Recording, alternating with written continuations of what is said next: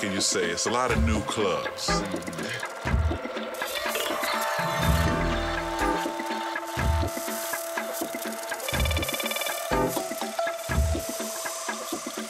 and they really don't understand.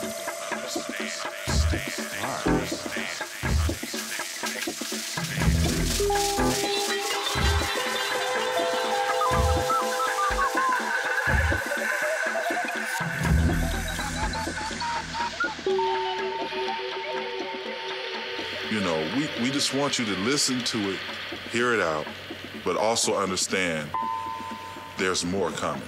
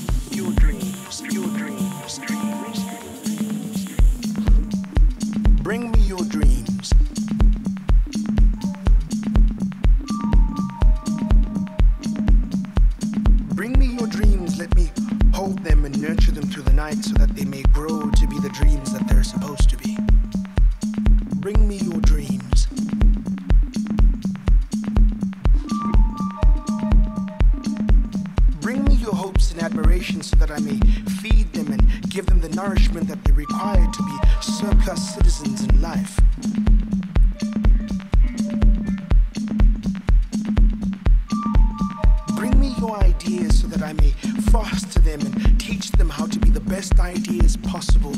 Bring me your dreams. Let me hold them. Let me wrap them in soft duvet of confidence that they may grow to become more than pillow talk and they may stand to exist more than bedrooms and talks and conversations and love and hate and things that you cannot define. Bring me your dreams. Bring me your dreams. Bring me your dreams so that I make them kings and queens and presidents and musicians.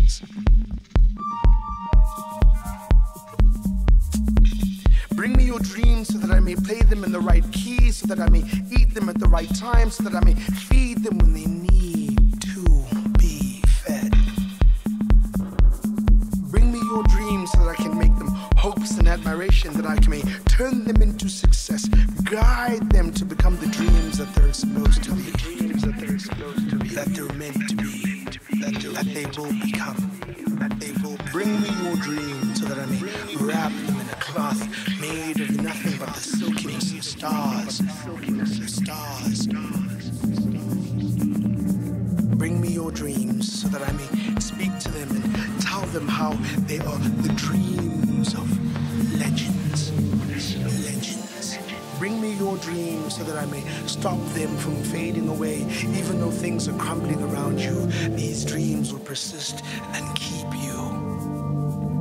Bring me your dreams so that I may hold them like child and carry them through the winter so that they'll make it to the summer. Bring me your dreams. Dreams.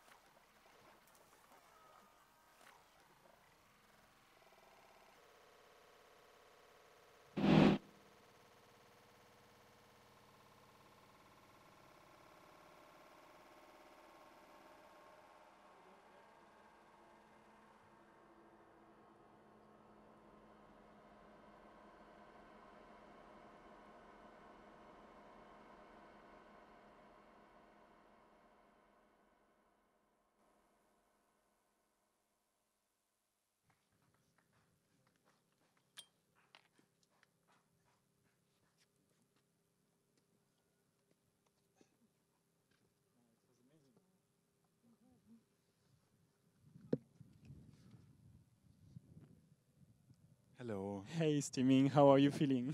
Oh, I'm feeling quite good. Thanks for having me. What a wonderful surrounding, right? Yes, I, I felt uh, you were really connected to your music tonight. Uh, thank you. Um, so a lot of question, a lot of questions coming from the audience tonight. I will ask uh, some of them. If you have other questions, don't hesitate. Don't hesitate. uh, to ask. First question, and maybe the most uh, uh, asked asked question is: uh, Can you describe your setup? Why the two Elektrons? Uh, maybe a bit uh, technical question, but Technical question. yeah, well, that's what I do. Um, this is the mothership playing um, the tracks without groove. Mm. This is a, sam- a groove sampler. Here I use the Octatrack as a groove sampler. Yeah. This is for add-on stuff. Actually, today I wasn't that happy with what I was doing with it, but anyway. And this is a um, custom-made fattener. Mm. This is if you can. If anyone it's like can a sound card. it's no, no, no. It's Ah. um, um, it's Martin Stimming's instant mastering chain. Oh, you have your own. Yeah, I got my nice, amazing. Like, I don't know. Um, maybe one of you. yeah, look, Yeah. there is like a. Um, uh, okay, thank you very much. Uh, and um, I, I, I had a But, question but, about. but people did recognize that I don't have a computer here, right? Yes, a lot of people asking. Okay. Um, uh, a lot of, of people asking, how do you feel uh, playing without a computer? that was yeah, like it's much better because I can't go on the internet while I was playing. Yeah. playing. oh, oh, can I speak a bit, a little bit louder? I'm sorry. Oh, sorry, guys. Uh, I'm, I'm very happy that I don't play with the computer because I can't go into the internet while I'm playing. Mm, exactly. Go on Facebook and Mm. stuff. And how did you feel tonight playing uh, in front of the sea and not seeing any uh, public reaction since you don't Yeah. have any public? Yeah. Um, so the sea is absolutely beautiful, absolutely. But um, I love people more because they give me some kind of feedback. And um, actually, I was a little bit fast, faster than I thought, Mhm. because I just went after my feeling. And um, if there would be people, I would have played more relaxed, probably. But mm-hmm. then it wouldn't be that interesting for you to to listen or view or like watch me. So you thought about the, the the audience online when you were playing? No. No. No, I wasn't thinking about the audience. Actually, this is the first time I'm thinking about the two nice uh, camera guys and the drone and that camera and that camera and this um, wireless connection thing for the upload and Mhm. very technical stuff. Yeah, uh, we really enjoyed your your set, and I think thousands of people watching you tonight. We are all uh, connected on the same um, Great. thing. Yeah. Through the digital Yeah. wireless. Mm, that was really a nice moment. So um, about your last EP that you launched, uh, uh, released a few days ago, Uh-huh. Die Luft, der Garten und das Meer, Oui. with a good accent, right? yeah, not bad, not bad. uh, in which condition uh, did you make it? Mm, I made it in a um, in three quarters of a year. It took me ages to Oh. finish those three tracks. Uh, so it was really, really hard work. Mm, and now you're happy with them. No, I'm happy with them. Mm-hmm. Which which one do you like the most? The, uh, the air, die Luft. oh yeah. Yeah, yeah, yeah. The Why? It's so breathy. Mm. It has so much air inside of it. It's incredible. Actually, um, the last track, uh, Die Luft, was the last was Oh. the last track, uh, and I made it in the last week. Oh. Like I worked freaking amounts of time on Der Garten und das Meer, and then um, just when I thought, okay, now I'm finished, I can't go any better, then I just made the Luft. Mm. And so, for people to understand, die Luft is the air, right? L'air, yeah, oui. The air, and das Meer, the ocean, like The ocean and, the garden is is the garden. Yeah. Yeah. And um, why these these names? You wanted to give a tribute to nature?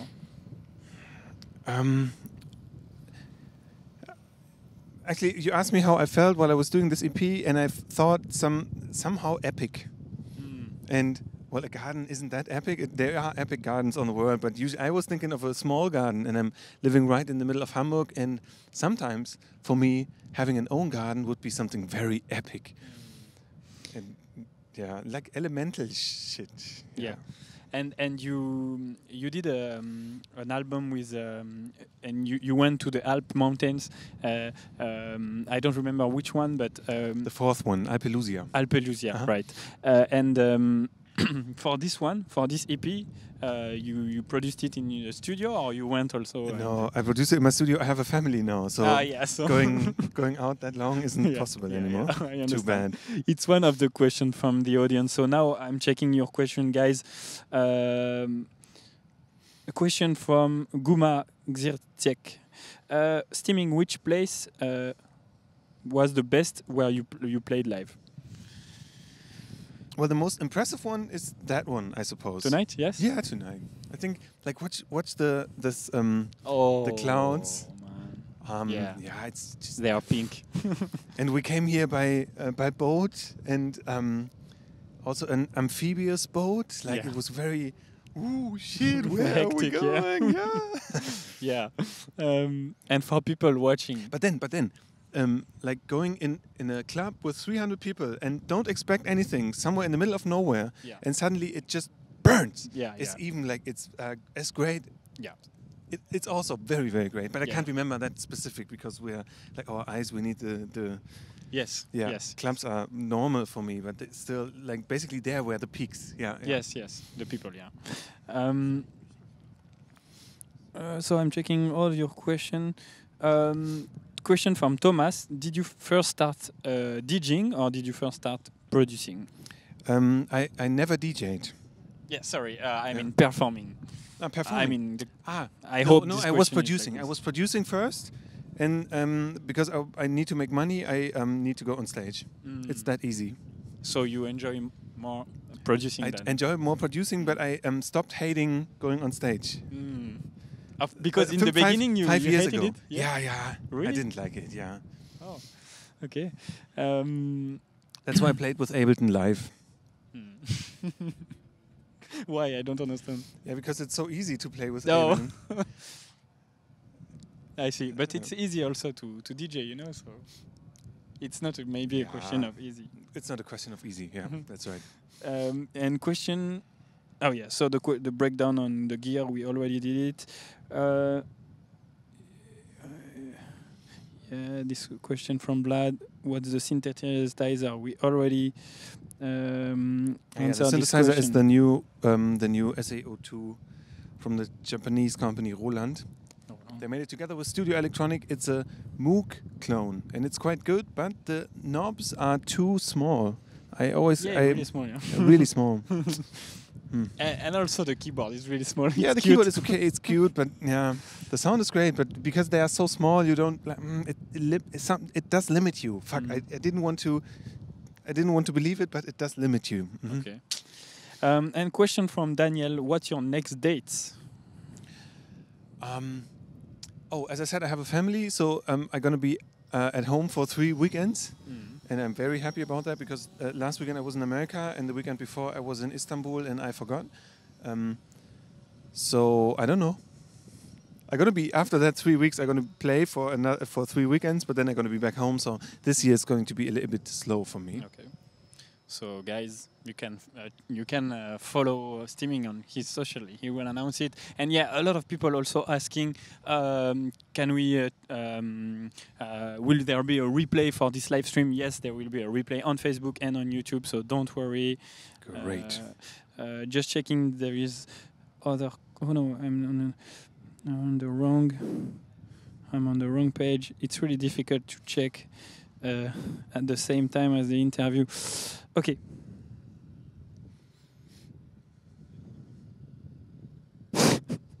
okay, this question is funny. Have you ever considered to leave the perform alone in, in such remote location for the performance and see where that leads? uh -huh. So yeah. that, that's what I was doing on the Alps, right? At, in yeah. Andalusia for a month. So actually, um, I would bring a little bit of different stuff. Of course, I would a producer for producing. Uh, I would bring a computer for producing. Um, but I would do it if you would leave me here for Yeah. a month. Well, I have a family. I can't. You are not aware that you, you stay here for one month? No. well, if we they bring me food, then it's okay. yeah, and there are tourists coming at day. yeah. Yeah. And tonight we are we are sleeping here. We're sleeping Uh, here. Yeah, we can't leave. We That's can't true. live because the, of the high sea level. So The yeah. tide is high. Um, yeah, a lot of people asking uh, where when do you will be playing this city, this city. So, Michael, question from Michael: What's your favorite track you have produced? Um, my favorite track I have produced is the kleine Nachtmusik, which came out on Buzzin' Fly in 2009, I think. Okay. And uh, maybe one last question. Wow, that's really technical. Okay, let's. Yeah, let's go for technical question. Okay, yeah, yeah. how many banks and patterns you are using in one set? Ah, am So um, on, on the top of my compressor, you see the list of my tracks, and it's basically 25 banks for the grooves. And um, in the mothership Octatrack, I'm not using banks or patterns. I'm just using bank one, pattern one, and um, basically I go in the list. But like I, I'm gonna explain it um, very precisely later that year um, for DJ Tech Tools again. So there you, y- they will go into depth how I'm actually using it. Um, but yes, I can play 25 tracks. And also another question: Why these ear earphones? Is to hear your music, right? Uh, it's because uh, I hear my music and I um, stopped relying on club monitors because they're usually shit. Yeah, I saw and your rider. You you don't I ask don't- for any monitor. Nah, because I've, they're like very low quality and uh, they're gonna hurt my ears. And here I can have very precise sound without being too loud. Mm. That's, That's why. also maybe a way to feel your music uh, better, right? Yeah, well, I can I can work more precisely. Mm. Okay. Uh, and uh, last thing, it's a tradition at Cercle. It's the mystery box. It's a little gift we offer you. So the mystery box is coming when we. uh, a little gift from the lighthouse. Um, so I let you discover the gift. Okay. Oh, also, so you have a lot Ah. of gifts. I find I A got bob? ahead. I could have I could have used it earlier. Um, yeah, A T-shirt. yeah, a T-shirt from the lighthouse. Wow, thank you so much. And the best, a, gl- a bottle of uh, red wine. Of, yeah, from Yeah, here. but So. I'm gonna share it with you guys. Oh, that's nice. We will spend a, a great night, I guess. yeah. For, thank- for how many are we? Uh, anyway, Yeah, too, too many. too many for a bottle. Yeah. But thank you so much for having me. Yeah, thank you very much, Stimming, um, for this amazing set, and also thank you very much to the um, to the lighthouse called Phare de Cordouan. It's in the west of France. We are in the middle of uh, the ocean. And it's actually it's the oldest working lighthouse in France. Yes, that can be visited. So you can visit it uh, from I think April to October. Um, and uh, so thank you very much to them for trusting us uh, tonight. Thank you. And uh, thank you to our partners. They will come up on the screen. Thank you to all of you. You are so many to leave uh, so many love messages. Uh, too much love tonight, and um, There's and never too much love. never too much. And uh, and see you next Monday. Bye bye.